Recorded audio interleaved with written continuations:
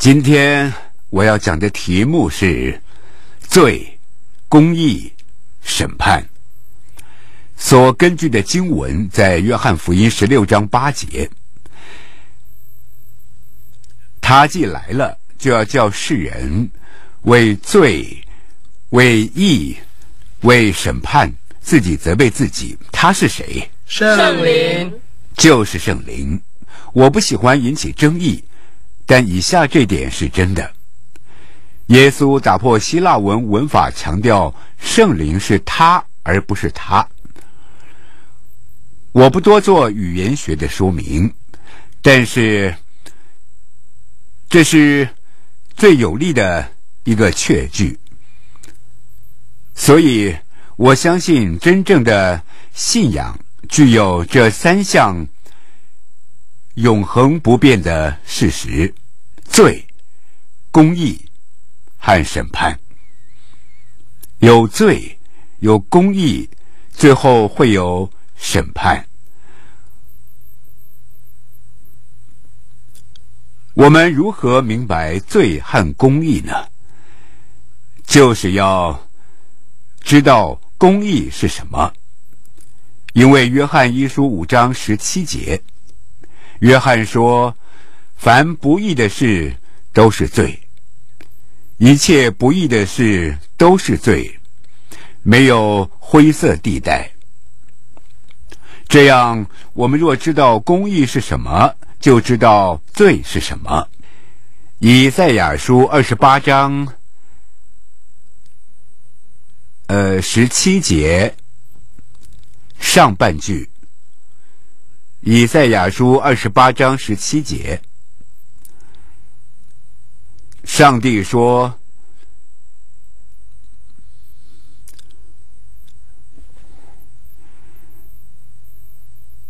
以赛亚书二十八章，好，我们来看十七节。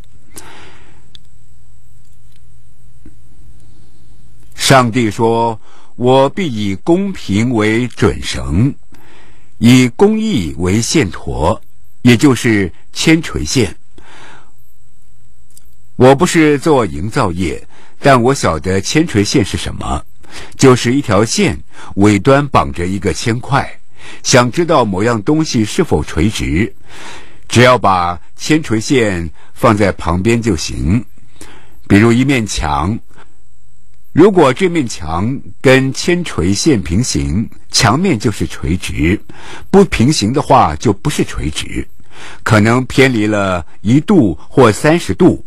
但都一样，都不是垂直。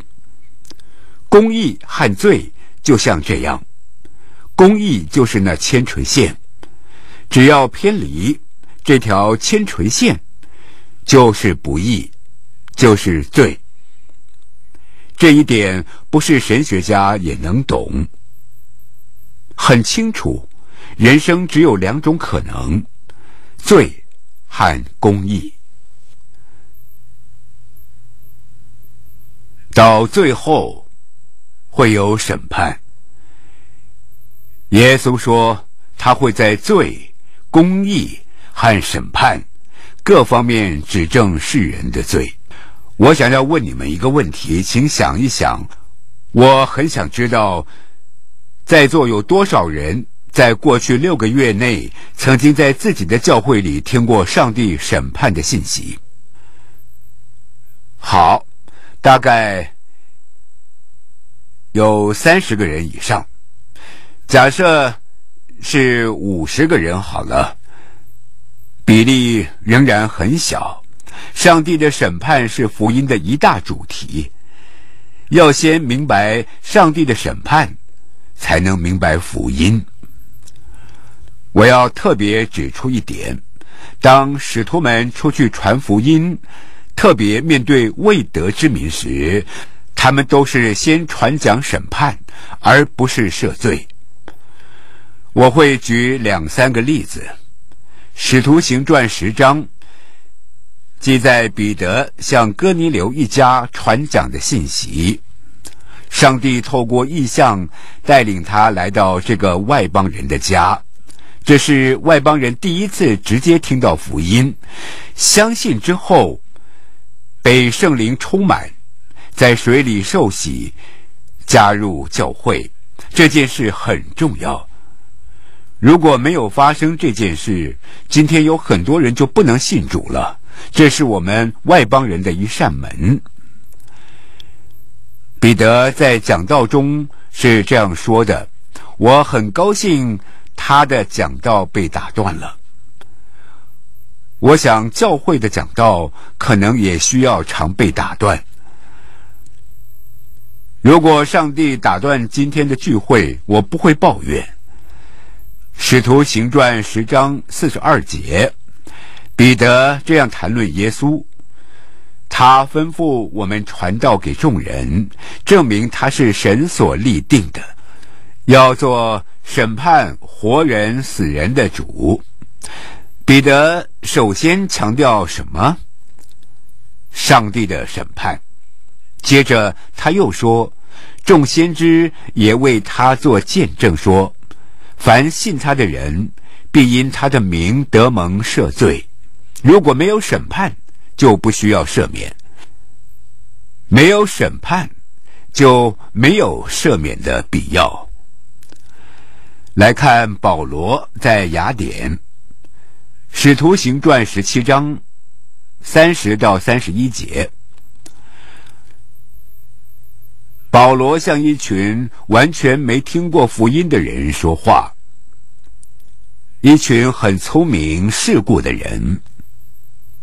他说：“世人蒙昧无知的时候，上帝并不监察；如今却吩咐各处的人都要悔改，没有人例外，包括你我。神吩咐。”不是建议，吩咐各处的人要悔改。为什么？因为他已经定了日子，要按公义审判天下。我们为什么需要悔改？因为每个人都要面临上帝的审判，没有人例外。福音书中是有一部分提到信耶稣的好处，上帝会解决你的问题，你的婚姻、事业等等。会更好、更成功，但信耶稣主要不是为这些，而是因为将来要面临上帝的审判，没有一个人例外。如果不接受福音，到审判那天就会很惨。在路加福音二十四章，耶稣复活之后，就吩咐使徒。路加福音二十四章。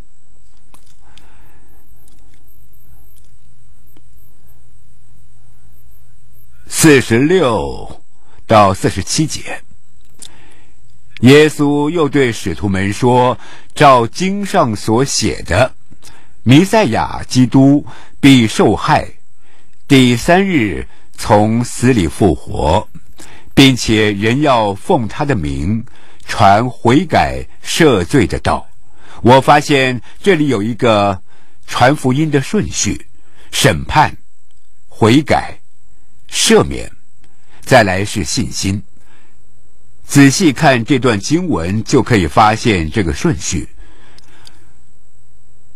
没有经过悔改的信心是假的信心，不是新约圣经中的信心。福音的信息一开始就是讲悔改。事实上。在马太福音四章十七节，耶稣就只传讲一个词，他说“悔改”。马可福音的记载是“悔改，相信福音”，没有悔改就不是真正相信福音，是假的信心，不是真的信心，所生出的是假的果子。所以教会里才会有那么多人活得不像真正的基督徒，因为他们的信心不是真的，而是一个假冒替代的信心，没有先经过悔改。新约圣经从马太福音到启示录，没有一处说不悔改就可以相信。那是错误的福音。但很多人在传讲这种信息。多年前，我和路德在新加坡有个美国传道人在那里讲道。他曾经用祷告医治长短脚，我也有过这种经验。也许你没见过这种事，但这是真的。多少人有过这种经验？我知道这是真的。是你们害我卷入这种麻烦的。一开始是约翰贝克特牧师教我的。我比较沉默，是个牧师，年纪比他大很多。他要教我什么？但医治祷告真的有效。我的祷告治好许多长短脚，这我不会羞于承认。我见过许多人在目睹这个简单的神迹后大大改变。别让我一直说下去。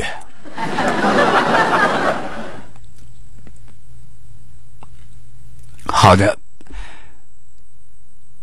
刚刚讲到新加坡啊，各位，这个传道人，当时会众中有各国的人，有很多中国人，其中很多人不懂英文。这个传道人讲完医治祷告后说：“想要医治就到前面来。”很多人都到前面去，他们请我和路德帮忙辅导。没几分钟后，我发现大家都没搞清楚，没有人告诉他们必须先悔改。当中很多人是拜偶像的，只是以为这里有好东西，所以想要。就这样，我爱那位弟兄，但。这不是福音的信息，要先悔改才行。好，继续来看审判的信息：悔改、赦免、信心，最后会有审判。将来人人都要站在上帝的审判座前，没有一个人逃得过。这个约会，你我绝对不会错过。不是人人都会死，虽然大部分的人会死，但当耶稣再来，还活着的信徒就会被提。但不管我们会被提还是死亡，有一件事是肯定的：人人都要站在主的审判座前。罗马书十章，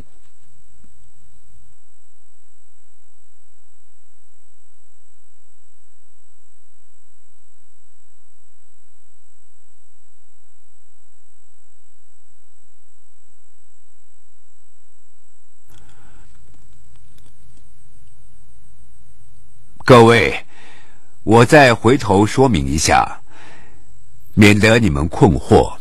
新约中有两幕主要的审判画面，我们要加以区别。我不想讲的那一幕，记载在启示录二十章。一起来看启示录二十章。我又看见死了的人，无论大小，都站在宝座前。我又看见一个白色的大宝座。与坐在上面的，从他面前天地都逃避。这个白色大宝座的审判将在末日发生。如果你我真正活出基督徒的生命，将不会站在那里受这个审判。但这不表示我们不会受审判，我们一样会受审判，不过是在耶稣的审判座前。审判座的希腊原文是兵马。跟本丢比拉多审判耶稣时的审判座是同一个词，指的是来自权威者的审判。在罗马书十四章第十节，保罗说：“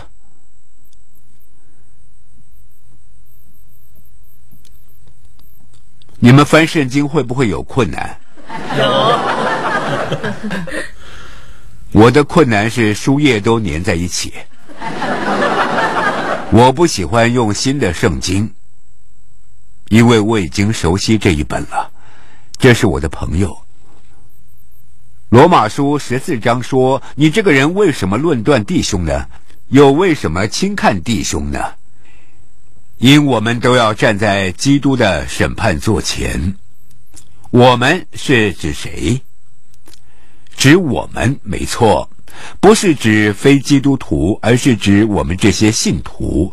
不同于白色大宝座的审判，这个审判将发生在末了之后，到建立千禧年之前。你不相信千禧年吗？求神怜悯你，但我相信。启示录十九章提到六次，从现在到千禧年之间，我们将站在基督的审判座前。我更喜欢哥林多后书五章十节的描述，同样的真理。格林多后书五章十节。因为我们众人，就是指你我，必要在基督台前。希腊原文说显露出来，这个形容更生动。换句话说，不会有任何秘密，所有的事都会摊开。我们众人必要在基督台前显露出来，叫个人按着本身所行的。按着本身所行的，或善或恶受报。你注意到这里只分成两类。我们刚刚说过什么？一切不义的事就是罪，一切不好的事就是坏。没错，没有中间地带。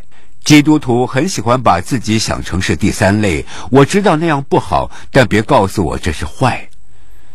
这不符合圣经，没有中间地带。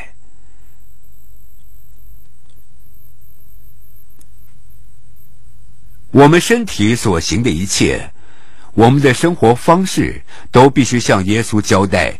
所以我说，只有两类：好与坏。耶稣说：“不同我收据的，就是分散的。没有人介于收据和分散之间。”你在分散什么？分散上帝已赐给你的一切，你的时间、你的才华、你的聪明、你的金钱，不是正面的使用，就是误用。你在分散。这样说更简单、更清楚，没有灰色地带。不是好就是坏，不是收据就是分散，不是罪就是公益。没有第三种。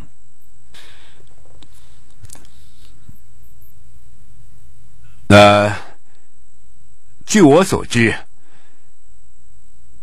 在基督的审判座前，没有最后的定罪，所以我一开始就引用“从今以后不再定罪了”。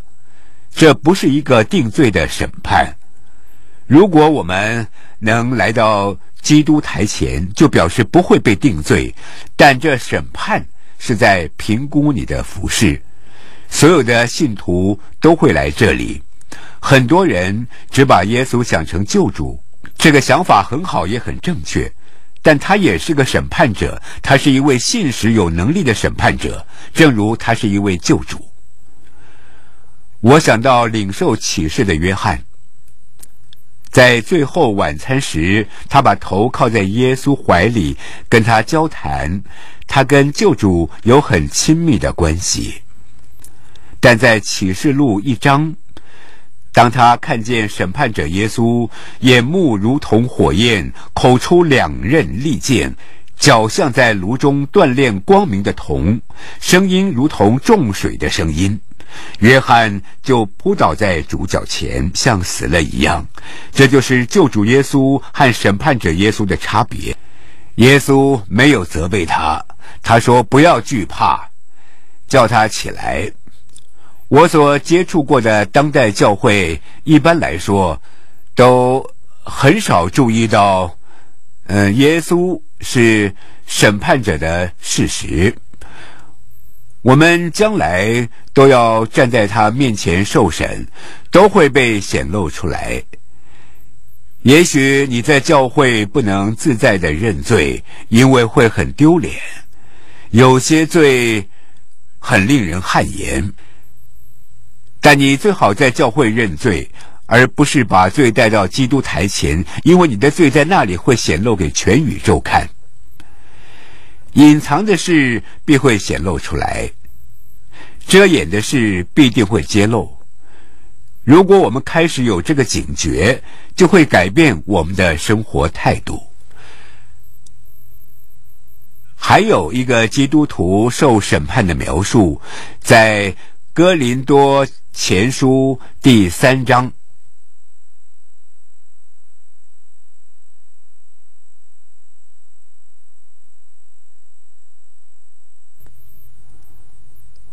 我们从十一节开始看，这是谈到侍奉上帝的人，因为那已经立好的根基就是耶稣基督。此外，没有人能立别的根基。这里谈的是已经在基督上建造生命的人，不只是教会会友，而是已在基督的根基上建造。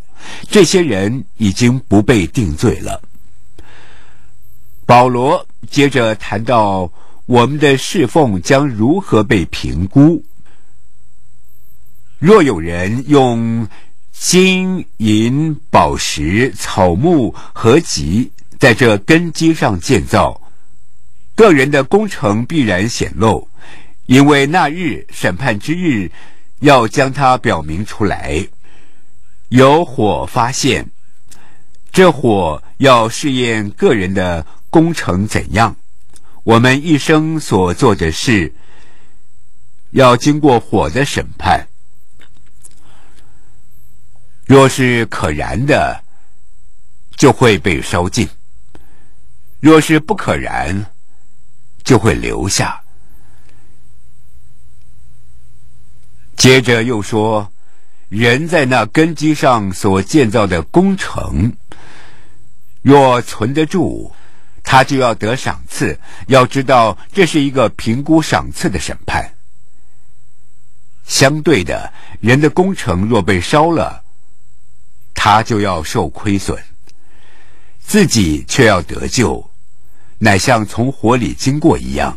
新国际本翻译为“乃像从火里逃出一样”。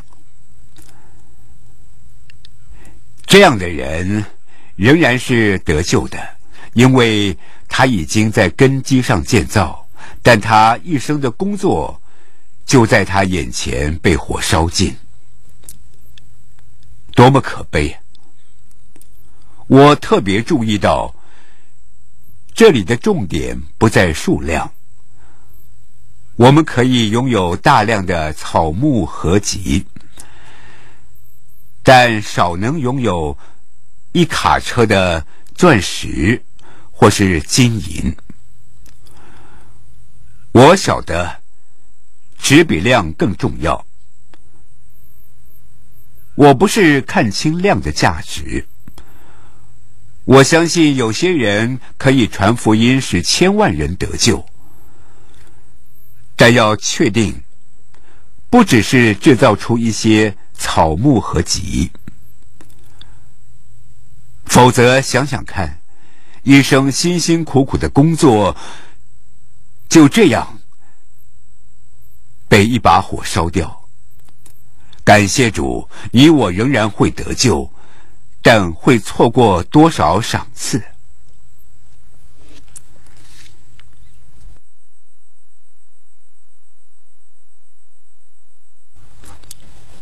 现在来谈新约一个特别的主题，就是自我审判。一起来看经文，请翻到《哥林多前书》，这里谈到圣餐，《格林多前书》十一章，这里讲到圣餐非常重要，因为这是每个基督徒生活中不可或缺的一部分。保罗提出一个情况，让我们反省是否活出基督的生命。他在教训那些生活不敬虔的人。我不晓得这样说好不好，我还是说好了。格林多前书比其他书信还强调圣灵的恩赐，但格林多教会的问题却最多。我相信这在今天也是一样，因为我们往往太倚靠自己的恩赐，却忘了结果子。在哥林多前书十一章二十七节，保罗说：“所以无论何人不按理吃主的饼、喝主的杯，就是干饭，就是得罪主的身、主的血了。领圣餐，就是公开承认你晓得耶稣替你的罪而死，你不能以不知道为借口。”你要为所知道的事负责。保罗接着又说：“人应当自己醒茶，然后吃这饼，喝这杯。所以每次领圣餐，都应该自我醒茶，但不要做过头。像有些教会就会变成墨守律法。然而，这是真的。”因为人吃喝若不分辨是主的身体，就是吃喝自己的罪了。他没有想到自己是在面对世上最圣洁的上帝，因此在你们中间有好些软弱的与患病的，死的也不少。为什么会这样？就是因为没有按理领圣餐。